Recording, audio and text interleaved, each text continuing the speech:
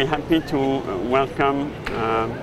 the public of uh, ITU Telecom World in Busan for uh, visiting uh, the joint ITUR and ITUD pavilion. Uh, concerning the ITUR pavilion, I mean the part of this pavilion which relates to ITUR activities, um, this um, exhibition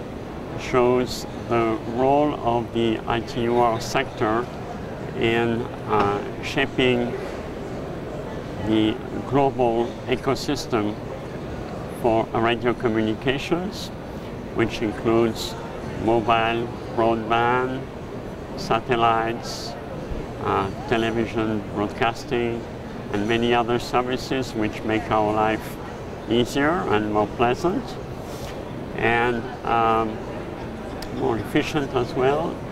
And the role of the radio sector of the ITU, the ITUR, is to develop international regulations and global standards uh, which enable uh, huge economies of scale and worldwide interoperability and roaming of equipment. So um, we are this year celebrating the 90th anniversary of the ITUR study groups, uh, which started their work in 1927, um, contributing by their studies uh, to enable new technologies as they were appearing in radio communications to be implemented in networks and equipment um, so that we have built over these 90 years uh, a globally harmonized ecosystem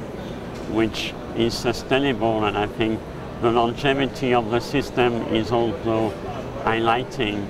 the sustainability of uh, what is produced by the ITUR process. So today we are working on 5G, we are working on many new technologies in satellites and balloons and drones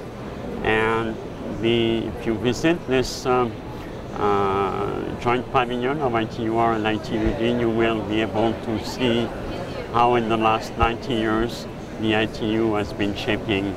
the global ecosystem for radio communications. Yes, the uh, public at ITU Telecom World will also see on uh, this joint pavilion um, exhibition of uh, members of the ITUR and ITUD sector uh, to uh, present uh, their realizations, their achievements in, in past years as members of ITU.